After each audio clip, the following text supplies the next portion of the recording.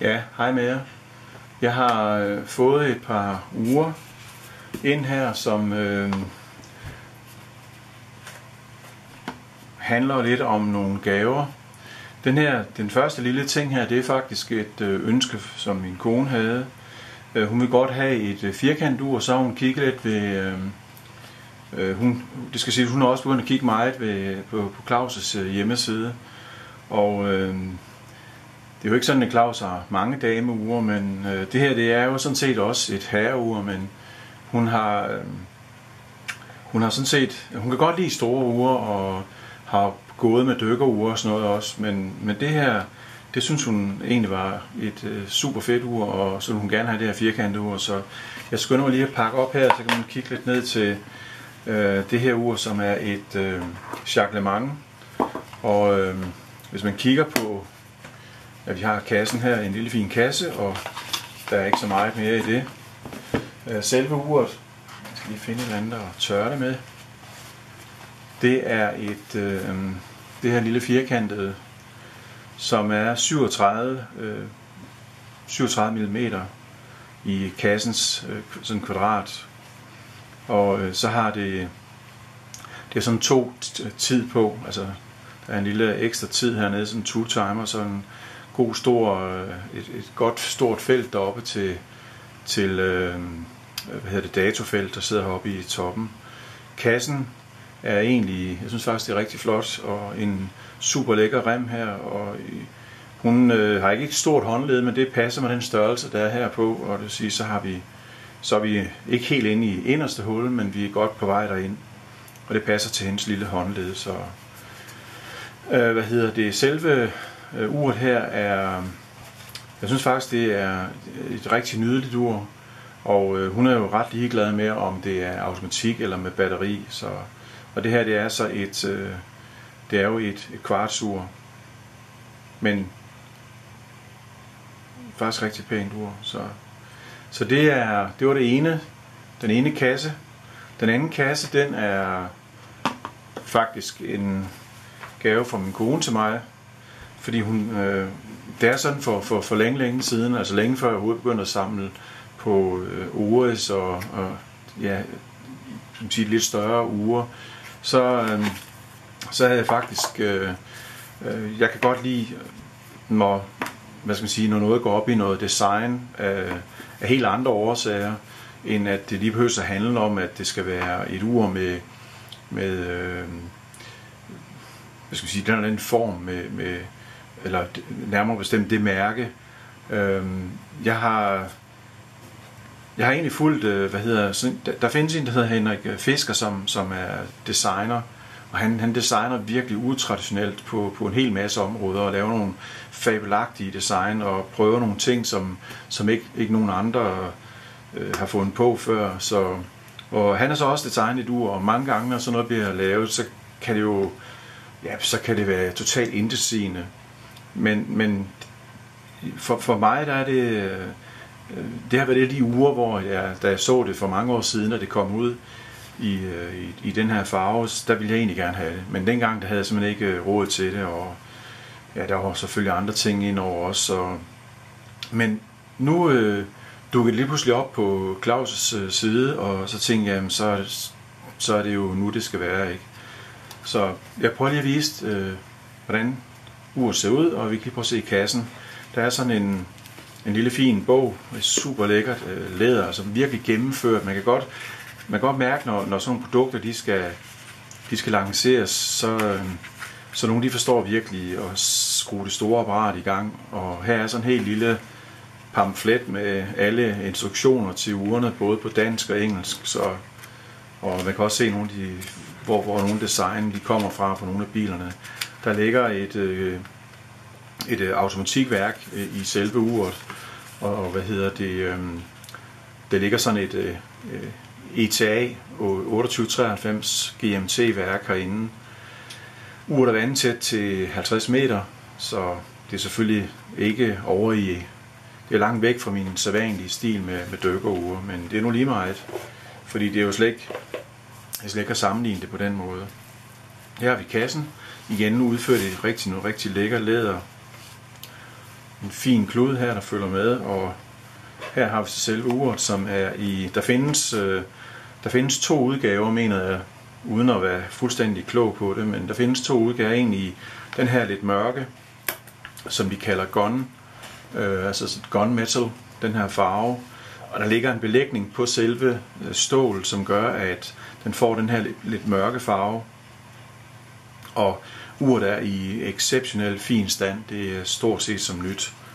Øhm, uret har 24 timers visning, det vil sige, at det har øh, via en ekstra markering, der kan man se, øh, vi er faktisk ved at være op omkring øh, de 24, øh, altså kl. 12, altså 24 timers øh, visning, og det vil sige, så skifter dato og så videre også. Øh, selve uret her er øh, i, jeg vil lige føre lige vise ned i kassen, der ligger selvfølgelig ekstra, øh, hvad hedder det, stifter og lænker og så videre, og et lille skilt her fra California Highway. Og det er jo sådan det her ur er jo et, et eller andet sted udledt af, af biler og en, øh, en, en hvad skal man sige, øh, design fra, fra biler af, der er taget og prøvet på, og, og, og dermed så sat over i det her. Og første gang jeg så ure, det var jo i øh, en super flot reklame, og jeg, jeg måtte bare, øh, jeg kunne huske, at jeg skulle ind til en urmager og for at se det og på at holde det i hånden. Og øh, øh, jeg, jeg, ved ikke, jeg ved ikke, hvad der er, der trigger mig, men et eller andet sted, øh, nu er det jo ikke et stort ur, men, men det her design, der er på uret, den måde, at der er tænkt lidt ud af boksen, bare alene safirglasset her, hvor at man har slebet en rille i glasset og lagt den her ekstra øh, stål, hvad hedder det, centerring i, som, som viser 12 timer. Og det er så lagt ned i sådan en special cement, så det selvfølgelig bliver liggende nede i her. Og, øh, og så har man hernede på, på skiven, der er der sådan sat det her, øh, der, der er nogle bogstaver sat ind i det her øh, markering, hvor der står et eller andet med Pacific øh, Coast Highway. Og øh, om på selve rosebladet, der er selve ruten, øh, hvad hedder det, graveret ind i, i rosebladet. Øh, det er jo ikke et kæmpestort værk, der ligger, og, og man kan se den her mærkelige skåldesign, der, der er brugt, hvor man har et lille værk, og så går det over i en lidt større øh, diameter, nærmere bestemt 44 mm. Og det er jo sådan mit minimumskrav til et ur. Øh, super, super lækkert. Og, og hvad hedder det? Det her, det handler ikke så meget om, øh, hvad skal man sige, øh, hvordan, hvordan det her design det kommer ud i, i øh, sådan den normale urverden, vil jeg sige, fordi det er specielt på alle mulige måder. Og, øh, og det er jo sådan en slags øh, hvad skal man sige, forelskelse i uret, og det har jeg haft øh, siden jeg så det allerførste gang. Så nu er det her, og øh, jeg synes, det er super fedt. Selve vægten er jo ikke, øh, det er jo et stålur, som sagt, det vejer ikke ret meget, og slet ikke i forhold til min øh, Ores stålure, men, men det er sådan set også lige meget. Hvis man kigger på, på lænken, så er lænken en, en meget, meget fin bearbejdet lænke, med, hvor låsen sidder sådan lidt inde bagved her, og øh, ja, det, jamen det kan man ikke sige så meget mere om, end det er bare som vi ser det mest øh, lækkert, gedin kvalitet. Hvis jeg tager uret på håndledet, så er det jo ikke et kæmpe ur, ligesom jeg ellers godt kan lide det. Men øh, jeg synes faktisk, det er rigtig pænt, og det vil helt klart være fint som et øh, dressur også. I og med, at øh, højden på kassen er så lav, som den er. Øh, selve, hvad hedder det, uret har selvfølgelig en, øh, det ser faktisk ret flot ud, når man øh, med, altså herude der er en hel masse af de her selvlysende punkter lagt ned, og så kan man se både 24 timers visning. Jeg ved ikke, om vi kan nå at se, det skifter nu her. Det kunne egentlig være ret fedt, hvis jeg kunne få noget lys over, og man, kunne, man måske kunne se selve... Den skal faktisk skifte nu her kl. 12. Jeg vil lige prøve at se, om jeg kan nå at få det med på videoen. Den kommer op her nu, kan vi se, og så den 17. herovre skulle så gerne skifte til den 18. Øh, her om nogle få sekunder. Det er lidt tilfældigt, at jeg lige får lavet videoen nu her sidst på aftenen.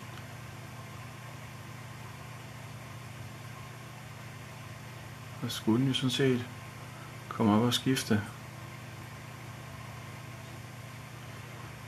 Så lad os se, om ikke det snart kommer her.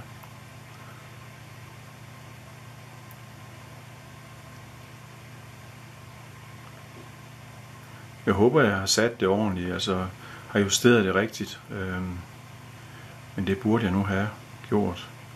Så må ikke det...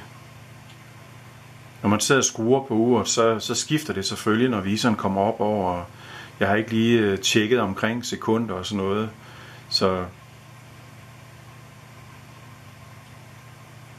Men øh, jeg vil lige prøve at se, om jeg kan få noget lys på det. Hvis jeg kan få lavet lidt sådan et, øh, kraftigt lys selv, øh, så man kan se, hvor meget øh, lys der egentlig er, hvor meget lumen der er på, på de her. Jeg ved ikke, hvor længe det holder, det har jeg jo slet ikke fået testet. Som sagt, så har jeg lige fået det nu her. Så jeg vil lige prøve at se, om jeg kan få fat i min lygte herover Og lige prøve at give det en lille øh, tur rundt her. Jeg kan lige prøve at slukke for lampen. Ikke? Man kan godt se selve lumen her nu.